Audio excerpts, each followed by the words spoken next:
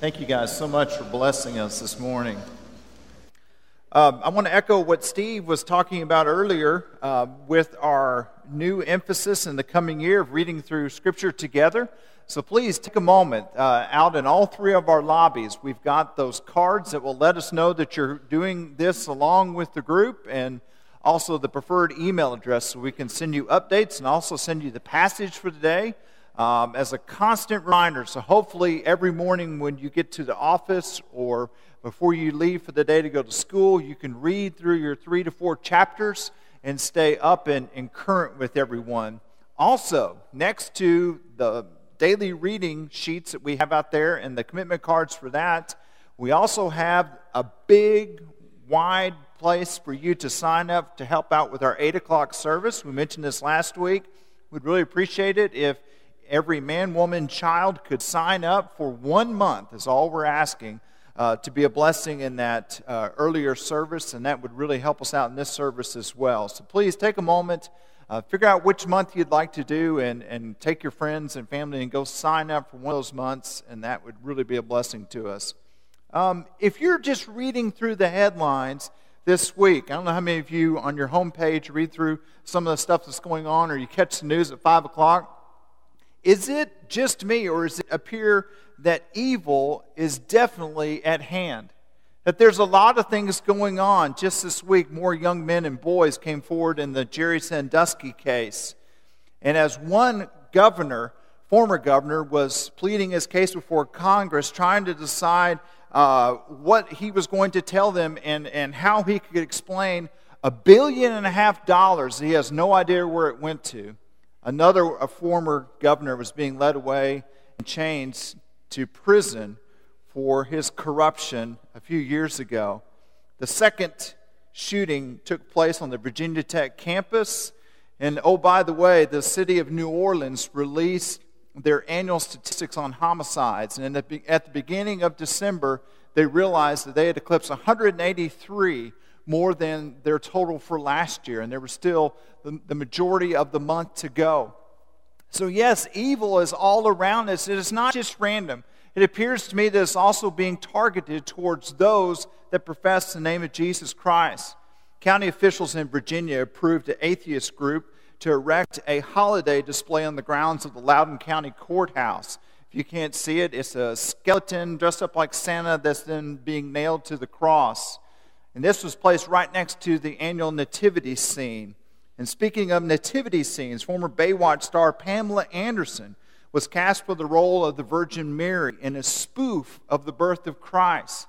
And as I was seeing this, I was thinking, I didn't watch it, but I was thinking, what in the world is nothing sacred anymore? But I, it's not just ideology that's being coming under attack. Gordon Conwell Seminary released a story this week that over 170,000 Christians have been martyred for bearing the name of Christ this year. 170,000. It's just incredible. And of course, I know you guys were blessed a few months ago when we had Bob Fu come in and talk about the things that are happening in China and the persecution that Christians are going uh, through there. But you know, whether it's in our schools or it's in our neighborhoods or in our office place or in government, you, you see evil around you and you wonder is there enough good people? Are there enough people that are bought into the message of Jesus Christ to keep the system from being overloaded? Is there enough good to counterbalance the evil that we see around us? Well, if you're overwhelmed by these thoughts, I want to extend a gift of hope to you this morning. If you have your Bibles, turn with me to 1 Peter chapter 3. 1 Peter chapter 3.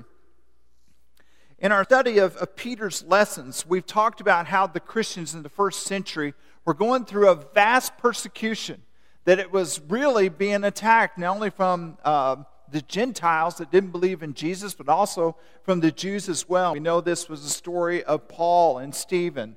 And so you have this persecution that's going on, but there was also something that maybe sometimes we don't have as acute sense of what's happening.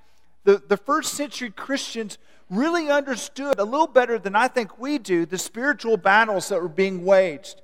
They understood that the persecution that they were going through was not just at the hands of pagan masters and pagan neighbors. and pagan rulers, but really demonic forces that were behind them. If you remember how the gospel writers tell the story of, of Judas, it said it was when Satan entered into his body that he went and made preparations to go against Jesus and to sacrifice him there. So if you think about these things in that day and in our day, when we see wickedness around us and we see persecution abounding, plausibly, many of us ask the question is the power of God great enough to counterbalance and keep at bay the power of Satan? Well, Peter has a message for us today. Let's read together in 1 Peter 3, starting in verse 18. For Christ died for sins once for all, the righteous for the unrighteous, to bring you to God. What a fantastic verse. He was put, together, put to death in the body, but made alive by the Spirit, through whom he also went and preached to the spirits in prison, who disobeyed long ago when God waited patiently in the days of Noah while the ark was being built. In it, only a few people, eight in all, were saved through water.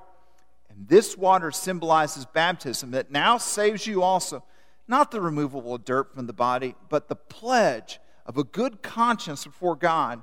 It saves you by the resurrection of Jesus Christ, who has gone in heaven and is at God's right hand with the angels, authorities, and powers in submission to him. It's a pretty powerful text.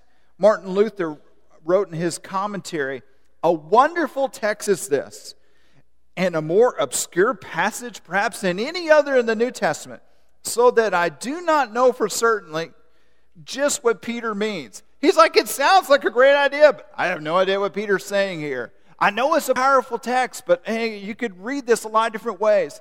And if Martin Luther struggled, you know I'm going to struggle. But I'm going to do the best I can to try to unpack what was happening here. At the end of the day, if you disagree with where I land, you're in good company because pretty much anything you can come up with a view on what this passage means, you'll find a commentary and a scholar that'll be right there with you. But I'm going to do the best I can. In verse 18, we see kind of a central teaching that's laid out in, in the New Testament. It's the gospel message laid, the Holy One, God, sent his one and only Son, the righteous, on behalf of the unrighteous. Why? To bring us to God. It's the gospel message. And unlike the annual Jewish uh, ceremonies and the different sacrifices, the events at Cal- Calvary didn't have to be repeated. It's, it's done. It's one for all, for all of our sins. Pretty straightforward. But here's where things kind of get a little dicey. Uh, Peter tells us that through the power of the Spirit, that Jesus goes to preach in prison to those from the time before the flood. And like Noah, you should get baptized. And you're like, uh, okay, what exactly is he talking about here? Well, there's, two, there's many different views, I'm sure, but two predominant views on this passage are that number one, between the death and the resurrection, while his body laid in the tomb, Jesus' spirit was active. And Jesus goes in the form of a spirit and he descends to the temporary abode of the dead, where the souls of disobedient people from the, the time of the flood were imprisoned to make his proclamation. Okay, well, is there even a place like this mentioned in Scripture? Well, yeah, David mentions in Psalms 30 in verse 3 O Lord, you have brought up my soul from Sheol. You restored me to life from among those who go down to the pit. Well, Sheol is also mentioned by the prophet Isaiah. And then we see Hades being mentioned by Jesus in Luke chapter 10, verse 15. And you, Capernaum, will you be exalted to heaven? Shall you be brought down to Hades? And in Matthew chapter 12 and verse 40, we see Jesus kind of comparing himself and drawing an analogy between him and the reluctant prophet to Nineveh. For as Jonah was three days and three nights in the belly of a huge fish, so the Son of Man will be three days and three nights in the heart of the earth. Well, I don't know. I guess that's what Peter's talking about here. Only thing is, Peter writes to the Christ preached to the spirits who disobeyed, not the spirits of the people. So he seems to be targeting here spiritual beings not human beings. Well, there is another option. An option that I've landed on is that Peter is referring to a visit that Jesus has made after his ascension as he's traveling to the highest heaven. He stops by and he preaches to those in a heavenly prison during his ascension. Well, why does he have to be up in the heavens? Well, in 2 Corinthians, Paul lays out that the man of Christ goes to, to the third heaven. So there, there is these different layers of heaven. And I don't want us to get off in the weeds too heavy because I don't want us to miss the message of this passage. But many of the Jewish writers from the first century believed in this judgment day holding cell, not on the earth, but in the lowest level of the heavens. So, who did Jesus preach to on this journey? Because if it wasn't the human contemporaries of Noah, who was his message directed to? Well, I think it's interesting for us to, to figure out who these mysterious spirits were in prison. In Genesis chapter 6, we're, we're starting to get introduced to the story of Noah. We're getting ready to, to launch into the story of the flood, and all this is about to take place. And then there's four verses that are kind of strange and almost seem like they're out of place, where it talks about these fallen angels, these spirits uh, that come down and see beautiful women, these earthly women, and unite with them to have children. And these spirits were people that the Lord detested. And the apocryphal book of First Enoch describes these beings as spirits and discusses in some detail their imprisonment with them in the heavenly realm. You're like, did he quote from the Apocrypha? I, I'm just saying it's not part of our canon, but in the first century, they would have been privy to this information. And this would have been something that they would have read and a lot of people would have had access to. So Peter was trying to write to those that knew these traditions. In fact, in his second letter, in his second letter, Peter seems to be uh, referencing this whole idea. In 2 Peter 2, in verse 4 through 5, it says, For if God did not spare angels when they sinned, but sent them down, sent them to hell, putting them into gloomy dungeons to be held for judgment, if he did not spare the ancient world when he brought the flood on his ungodly people, but protected Noah, a preacher of righteousness, and seven others. And he goes on to describe this. Jude seems to echo these sentiments in Jude chapter 1 and verse 6. It said, And the angels who did not keep their positions of authority, but abandoned their own home, these he has kept in darkness, bound with the everlasting chains for judgment on the great day. So, what exactly is going on here? I believe that there were these fallen angels that have united with these humans, and, and the Lord is detesting these spirits. The Lord has held them in judgment because not only have they influenced the humans that were around him, we see that the whole generation of people have become an abomination to the Lord. And He says there's going to be a payment for this. And so Jesus proclaimed victory after his death as he's ascending to heaven to those that are trapped there in this spirit's world. Whether it's from above or below, Peter is trying to tell us about Jesus, now enthroned alongside God. He said, He's superior to all these things. You're worried about these persecutions that are going on. You're worried about the evil that's in the world. You're worried about those that don't know Christ and how Satan is using them. The Lord has conquered them through his Son, Jesus Christ. And because of that, brothers and sisters, we can stand confidently to stand up against uh, hostility and bear a courageous witness. Because just as Jesus was vindicated on that day, each one of us will be vindicated as well. Well, Peter then kind of takes a, a turn and he's kind of laying out some of this. And then he starts thinking about okay, well, I've got the story of Noah, and I've got the story of the people that I'm trying to talk to. How do I marry these two together? And so the mention of increased sinfulness of hum- humanity before the coming of the flood leads Peter to reflect on the fact that Noah's family was saved through water. So Christians then and now pass through the whole waters of baptism, just as those in an ark passed through and were saved from the waters of the flood. So in verse 21, the Apostle Peter uses the word antitype here. It's translated in, in our passage here in the NIV as, as symbolizes to show the parallel of the events of that day with the events of this day. He's like, You guys have been told the story of Noah since you were this big. Let me tell you how that translates into how you're going to be saved in your life. It's important that we understand this because Noah and his family escaped from the, the drowning of the flood. There's so many people around us that are drowning in the flood of sin. Well, the statement that baptism now saves you reflects a high view of baptism. I'm going to go out on a limb that there are some churches on this street that uh, just as soon that that passage not even be in here. And even within our fellowship, there are those that are actively trying to, if not dismiss, to relegate baptism as something that's not all that important. And I, I, I want to, us to realize why. Why is that? Why are well meaning believers doing this? Well, if we include baptism in the salvation process, there's a feeling and a thought that we, di- we diminish what Jesus did for us. So we have the work of the cross being partnered with our work in the baptistry waters, is what they say. And if we say that this is a part of the salvation process, then we diminish what Jesus had to do. Folks, I can't tell you how wrong that is. I do not feel that it is a work, it is what we do in response to what Jesus has already done on our behalf. If indeed, I see a lot of glossed over eyes, folks, this is important. Please wake up.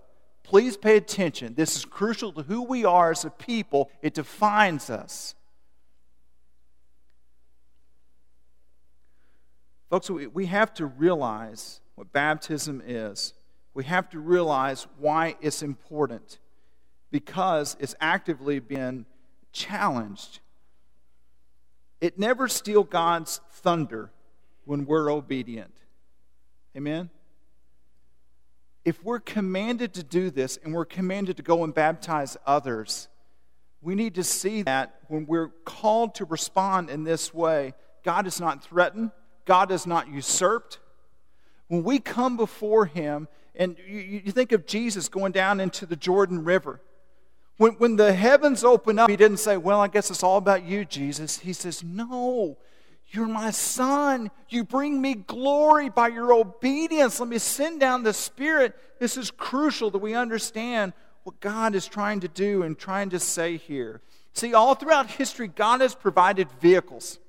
He sees a problem, He wants to deliver His people, but He provides vehicles, ways for us to accomplish His will. The people then, the people today, do not understand and sometimes not buy in to these vehicles. You think of the uh, Naaman being asked to go dip seven times into Jordan, he's like, I've, I've got rivers over at home. I could. No, it's what God's asked you to do. And when he came up out and it said the skin was like a, a the flesh of a young boy, did they say, wow, Naaman's awesome. Look what he did. No, it's what God has done. And God was glorified that day. You think of the Israelites when the death angels is coming through and they went and what he asked them to do he said put the blood of the lamb above the doorpost on the thing. Let this be a reminder. Uh, did it make sense? No especially not to the lamb but the lord says do this and and and, and sure enough the death angel passed over. It's a vehicle the lord provided.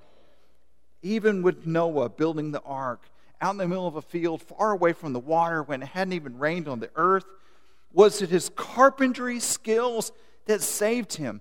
Absolutely not. It's the power of God, but his obedience and God's instruction to what he was telling him to do was credited to him as righteousness. But that does not take away from what God did to save his family. The waters of baptistry, we need to realize that they're not magical. Peter says, you know what? They don't, they're not designed to clean the outside but rather to reflect what's going on on the inside, an inner transformation. It's a pledge of good conscience.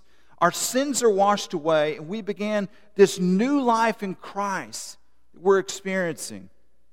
You know, when Jill and I fell in love, we decided to get married.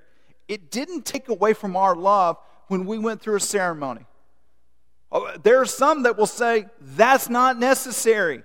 Can't you just have love? Absolutely. But I want to to come before and make a vow before the Lord and make a vow before my family and my friends, a vow of marriage and a covenant that we're making. It does not take away or diminish the love by us going through that ceremony and making that pledge. Peter makes it clear it's not of our doing that we're saved. 1 Peter 3 and verse 21 says, It saves you by the resurrection of Jesus Christ. It's not of us. Okay? So, what is baptism? Here's my best take baptism, is a place where our pledge is connected with God's power.